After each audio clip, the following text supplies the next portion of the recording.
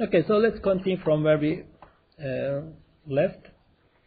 Uh, so the endurance of a propeller aircraft can be calculated using this integral equation. Um, so your uh, the W0 is the weight of the aircraft with a full tank of fuel. W1 is the weight of the aircraft where the fuel tanks are empty. Uh, so during this flight, if you know the power produced by the engine, then you can uh, plot that at every instant, and you should know the weight at every instant as well. And the integral will give you the the endurance. Uh, so let's consider an aircraft taking off, cruising for a certain amount of time, and the aircraft then lands. Assume that the aircraft burns all its fuel during this flight. So I'm talking about this black uh, data here. So the vertical axis is the altitude, the horizontal axis is the time. So this is very typical of a commercial flight, right? The aircraft takes off, comes to cli- uh, climbs to cruising altitude, and it does its cruising flight and when it reaches its destination, it descends and then lands. Uh, so you need to know the power constant or the power generated throughout this entire flight. So, so this shows uh, roughly what the power will look like. So during the climb, the engines will be producing uh, more thrust or more power. And when it comes to the cruising flight, uh, the power the created by the engine during cruising will be somewhat lower and it remains constant throughout the flight.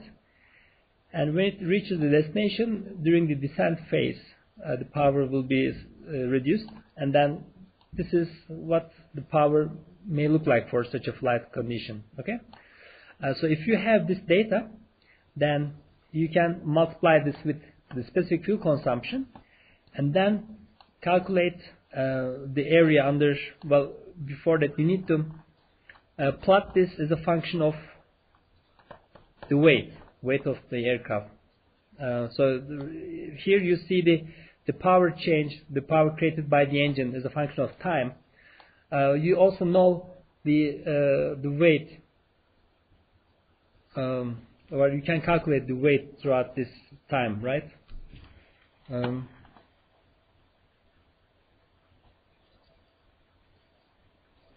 uh, so the the weight can be uh, obtained as follows. So during the initial part, in the climb phase, the, the engine produces a constant amount of power. So if it does that, that means the weight must be consumed at a constant rate. Okay, so the, the weight will be reduced. So the, this is going to be a, a line, straight line with a constant slope. And during the climbing flight, again, the weight will continue to reduce uh, steadily but the rate will be different, right? Since the, the engine power is now less, uh, the fuel consumption rate will be smaller. You multiply with the same uh, specific fuel consumption number. Uh, so anyway, so this gives you the weight at every time, right? So the, initially the weight was this much, and then when you come to this point, the weight is now this much. So you have the weight uh, change throughout the flight. So by combining this and this plot, from those two plots, you can create um, change of uh, power as a function of weight of the aircraft, and then the integral will give you the uh, the endurance amount of time spent in the air.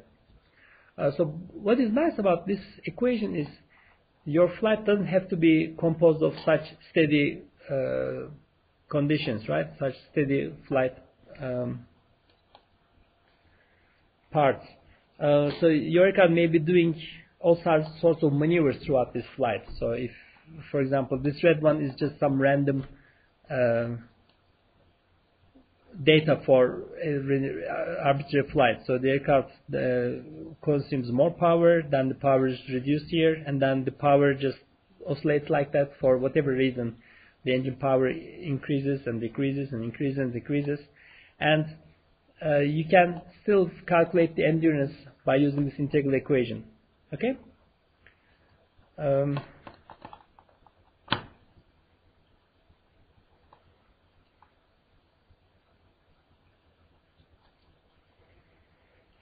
Okay. Um,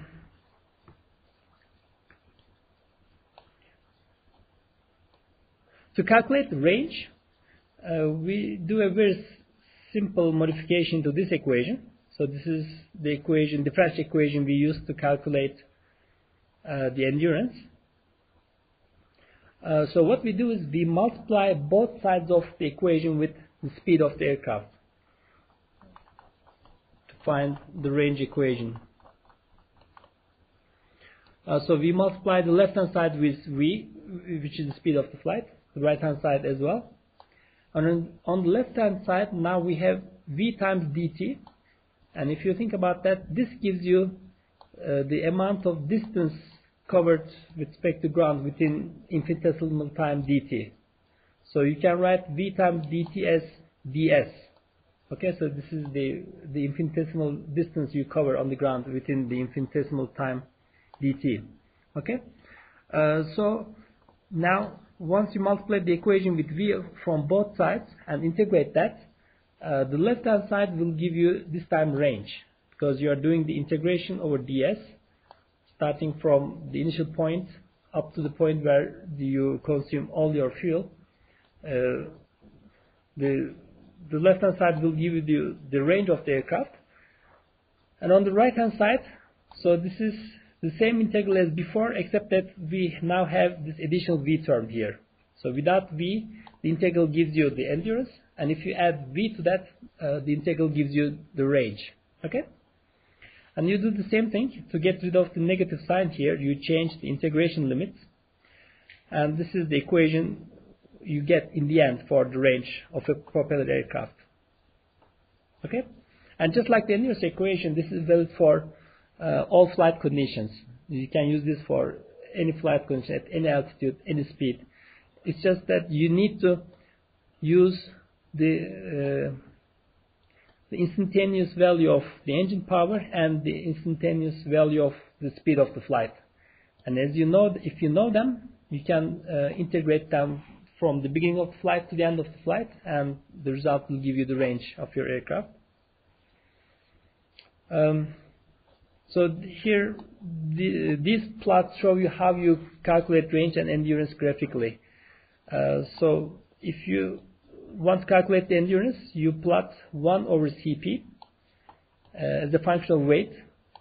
So normally, if you know this is a function of time, then you need to remember to make it plot as a function of weight and not time. Uh, if you calculate the area under this, you will find the endurance. To calculate the range, you need to multiply uh, this curve with weight. And if your weight is changing, then at every instant you will be multiplying with uh, the actual value of the, the velocity. So anyway, uh, this time if you calculate the area under that, uh, the result will give you the range of your aircraft.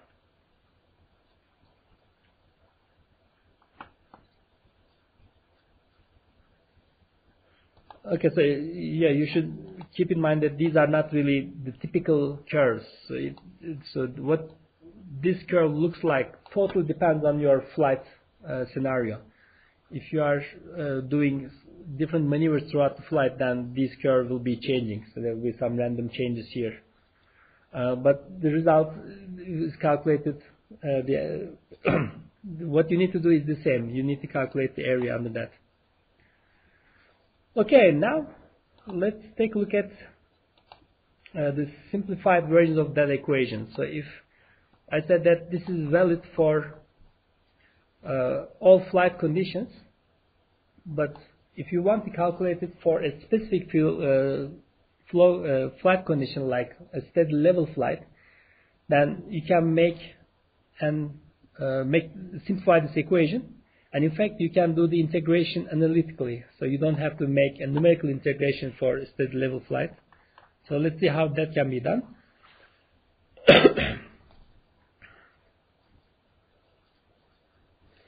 okay, so, so let's start with the propeller aircraft. Um, so we are now considering a propeller aircraft in steady level flight. Now we are making, starting to make assumptions in regards to the flight condition. So during a steady level flight, we know that the available power should be equal to the required power.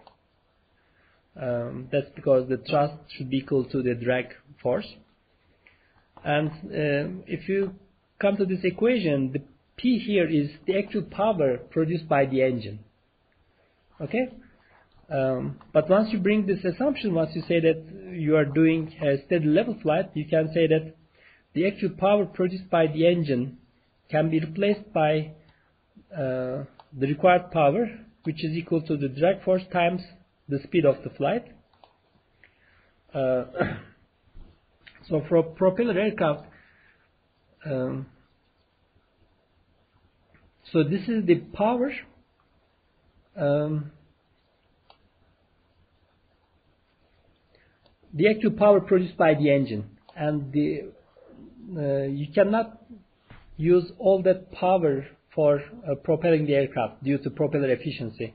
So the uh, you need to include this propeller efficiency term here. So the um, so um, so I'm sorry, this is the power produced by the engine. So if your engine is running at a certain setting, it produces this much power and multiply it with the propeller efficiency, the result is transmitted to flight. So this is the available power, which should be equal to the required power. Um, so this is the range calculation, right? So this was our integral equation. And remember, this P term is the actual power uh, of the engine um, so from here you can write it as follows. Um, so this is the equality you should have for a steady level flight. Um, on the left hand side for available power you write power of the engine times the propeller efficiency. Okay, and on the right hand side you have drag times the velocity. So you throw the propeller efficiency to the right hand side and insert this power, this uh, expression in, uh, in place of power here.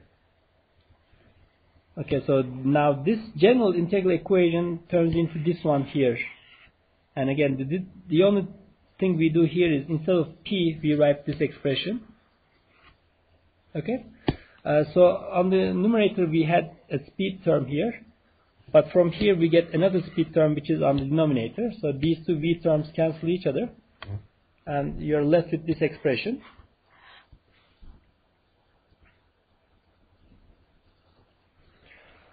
So at this point we multiply the numerator and denominator by the weight. So we multiply weight on both numerator and denominator.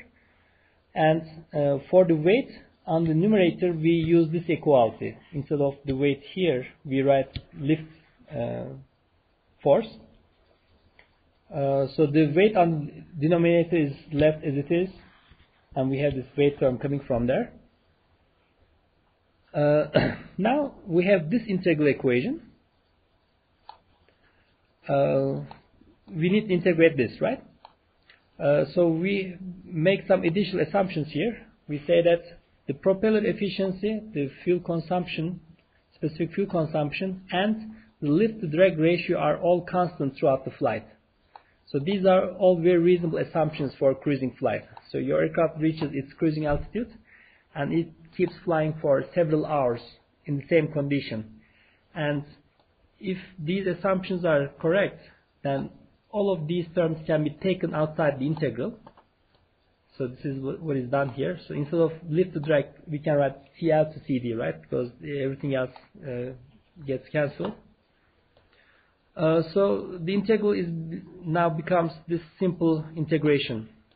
So you're integrating 1 over W Uh, with respect to dW. And the, the, that result gives you the natural logarithm of W0 divided by W1. Now, so this becomes the range expression for steady level flight with constant lift to drag ratio. Okay? And this simplified equation is known as the Breguet range equation for a propeller engine aircraft.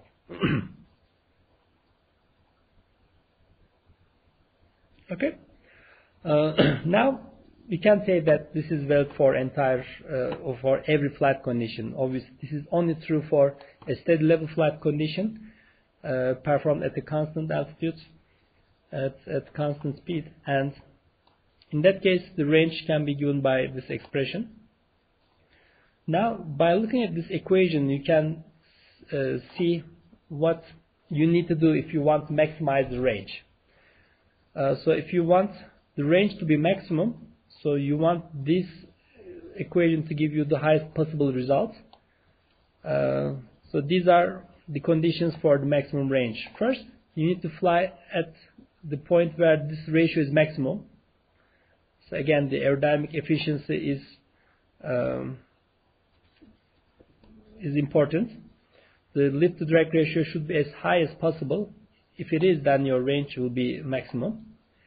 Then you need to have the highest possible propeller efficiency, which is also very reasonable. If you have a very efficient propeller, that will uh, improve your range. You should have the lowest possible C value. Since C is on denominator, you want this to be small. And small means that you have an efficient engine, which is also very natural to expect.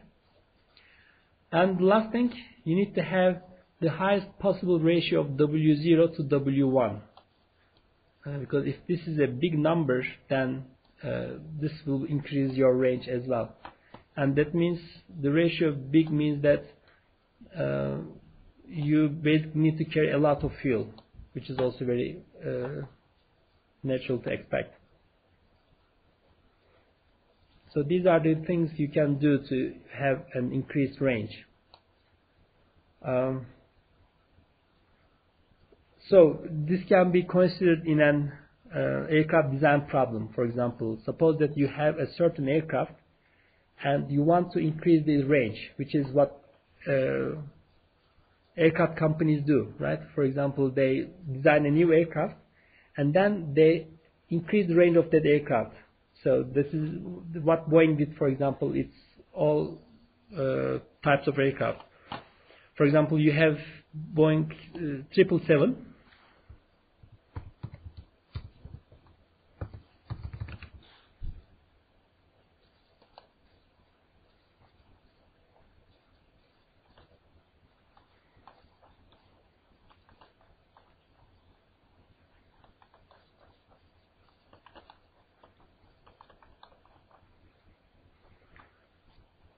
Okay, so hopefully there will be a table that shows.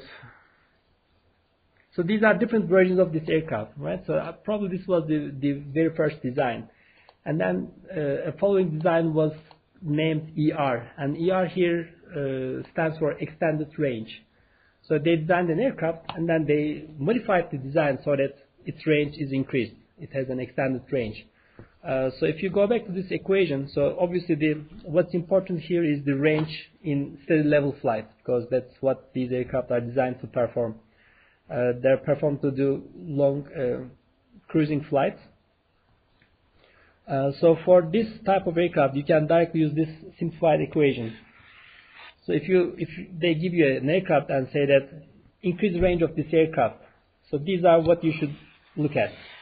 Uh, obviously, this is for propeller aircraft, and not for jet aircraft. But uh, well, as you can see, the best thing you can do is the easiest thing you can do is increase the last work on the last item here, right? Um, it is really very difficult to change the lift to drag ratio of an existing design. If you try to do that, you will need to design a different wing, and it will require a huge, significant change to the design.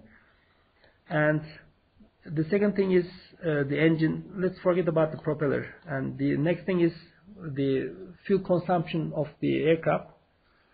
That means if you, you need to put more efficient engines, uh, but it is difficult to make a huge improvement there as well, right? Because you already have the most economical engine you could find at the beginning. So you can't improve that by a huge amount. Uh, engine companies improve their efficiencies, but the efficiencies they get are really very minimal. Uh, so if you want to incre increase the range a lot, the easiest thing is this last item. You basically need to put a lot of fuel, and that's the easiest way to increase the range.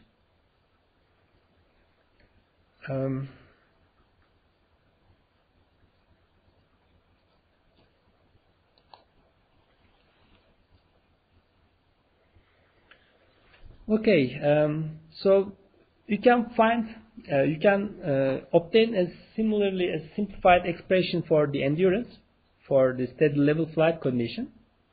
And the derivation is shown here. Uh, the difference is now we don't have a V term here. Okay, so in the range, there was a V here, and that V was cancelled by the other V here.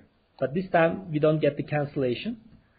And since we are assuming a steady level flight, instead of this V term, we can use this uh, equation that comes from lift is equal to weight equation. Uh, so you have an additional weight term here within square roots on the denominator. So that is combined with this other W term. And now you have to integrate this expression here. Okay? And similarly, you can assume that these are all constants. Uh, since it's a level flight, the altitude doesn't change, this doesn't change, so this everything here can go out of the integral. And you integrate this part, which again you can do analytically. It's a very easy integration. And this time the uh, the integral gives you this result. Okay. So in the range expression, you had natural logarithm at the end because you are integrating this part.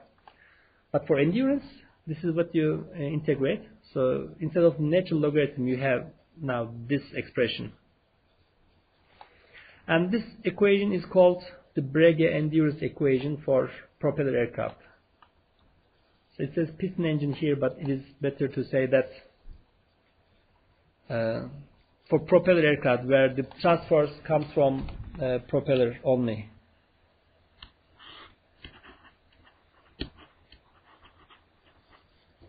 For propeller aircraft. Okay, now if you compare, if you look at this equation, it is similar to the, the range equation, but there are differences, obviously. Uh, well, the most important thing is that the condition, the aerodynamic condition is different for endurance. So if you want to maximize range, you need to fly at the maximum lift to drag ratio condition. But if your goal is to increase endurance, then you need to fly at a different condition. Right? You need to fly at a condition where this ratio is maximum, not lift to drag ratio itself, but uh, CL to the power 3 over 2 over CD coefficient uh, ratio has to be maximum. And the other things are the same. You still need uh, a low C value, a low specific fuel consumption value. You still need to have um, uh, the fuel amount of fuel on the aircraft as much as possible, as high as possible. And now there's also a second difference, which is that in the uh, the endurance equation, you see the air density here. In the range, we didn't have that. Uh, so for endurance, you need to take air density into consideration as well. And in fact, if you want high endurance, then the rho has to be as high as possible, and the highest rho value is obtained at sea level, right? So for maximum, for best endurance, you need to fly at uh, at sea level basically for the rho value to be maximum. So basically there are two differences for maximizing range and endurance. If your goal is uh, to maximize range, you need to maximize CL to CD ratio and the air density is not important. So for range, you can fly at any altitude you want and range doesn't change for steady level flight only. Um, but if you want to maximize endurance, then air density becomes important and you should fly at the um, sea level or at lowest possible altitude for maximum endurance. Okay?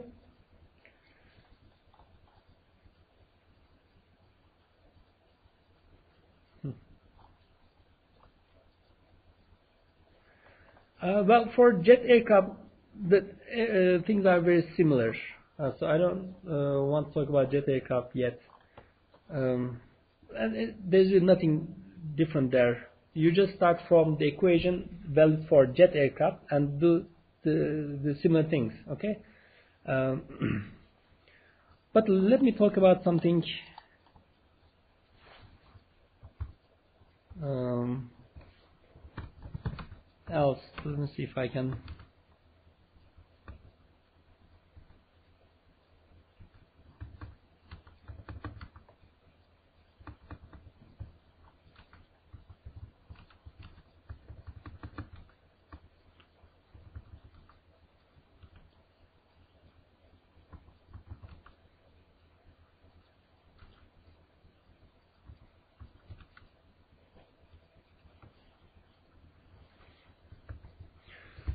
Okay, so I said that um, the easiest way to increase the range is to increase the amount of fuel because the, the other things are not that easy to change and it's very difficult to make significant improvements through the other terms.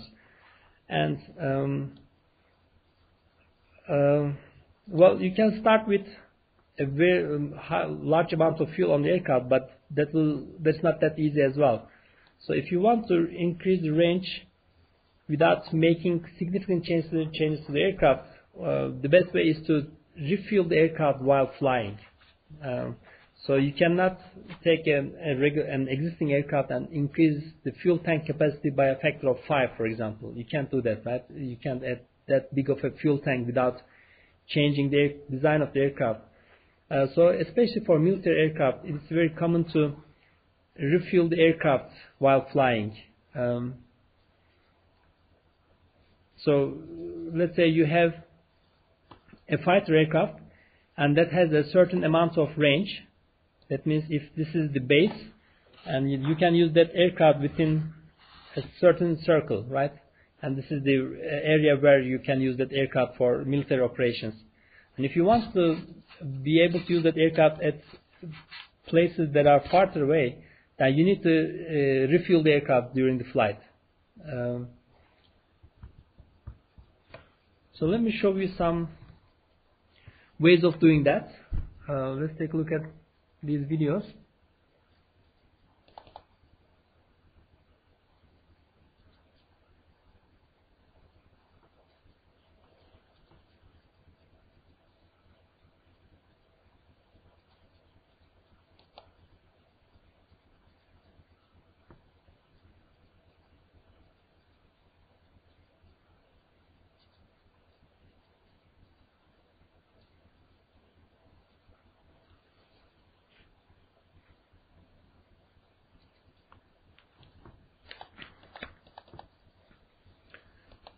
Şurada link başka bir yere gidiyor ya onu arıyor. O yüzden videoyu hemen açamadı şimdi. Keşke öyle yapmasaydım da. Şuradan orijinal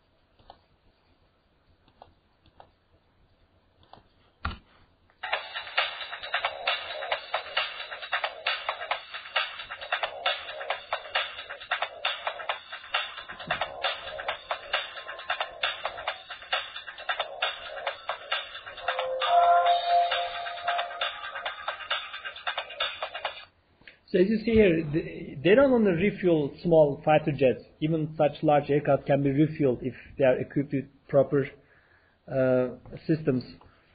So there are two different ways of refueling an aircraft in the air. One is to use such a boom.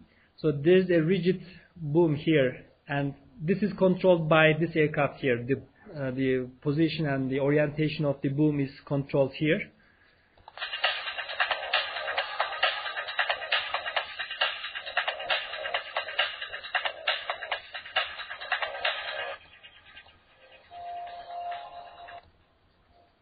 So there are small wing sections here. You see these wings are used to control this boom. So aerodynamically, just like controlling an aircraft, uh, there's an operator there and he uses the, these uh, wings to control the position of the boom. Let me see, there must be an um,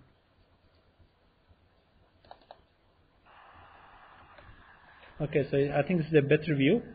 Uh, so there's a person sitting here, and that person controls the boom, and the aircraft just comes close to the uh, tanker aircraft, and the operator here controls the boom to find uh,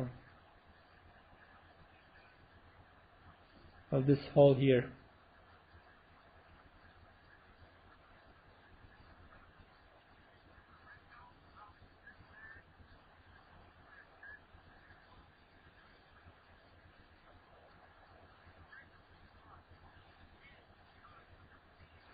Okay, so after the refueling, the this aircraft has a full tank of fuel again, so it can keep flying for.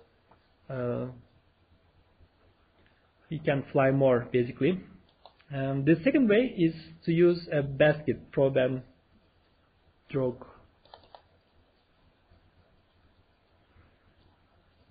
Uh, so what's different here is in the first, in the previous one, uh, the tanker aircraft was responsible for making the connection. But in the second one, uh, this other aircraft, the follower aircraft, has to find the correct position for refueling uh, because the the tanker aircraft doesn't have a controllable boom. Okay, so uh, the tanker aircraft cannot control the position of this basket here. So there's a basket here, and the following aircraft has to fly into the correct position.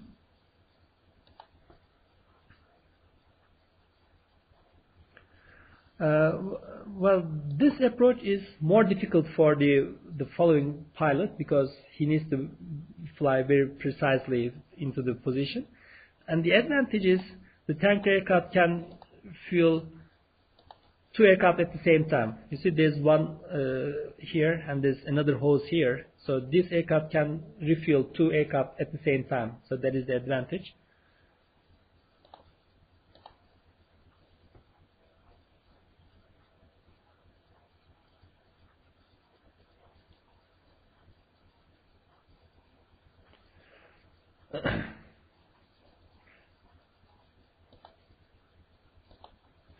So the purpose of this basket here at the end of the hose is, uh, well, it may have more than one purpose, but one of the most important important reasons why they have it there is to make the the hose stable.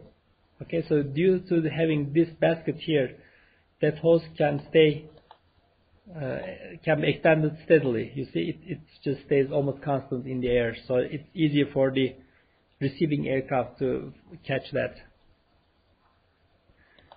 And in this next video, it shows how not to refuel. You see the importance of that basket. So this is again uses the ba basket, and the aircraft is trying to catch that.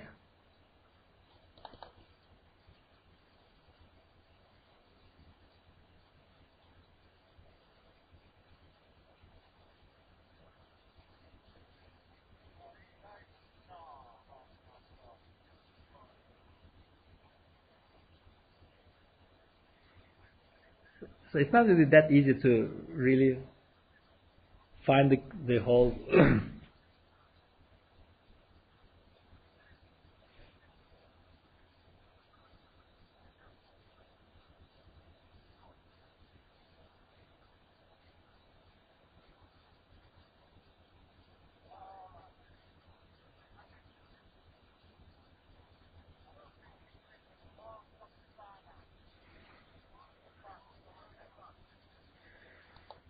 Uh, if you notice that the basket breaks during that incident, so it tries to catch it, but now uh, after that, uh,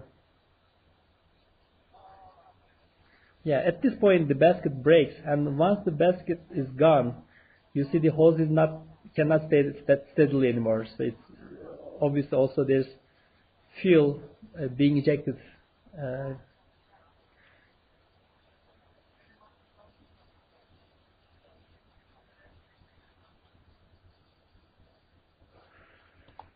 So anyway, um, so that way you can extend range of and endurance of aircraft if you can if you have that cap uh, capability.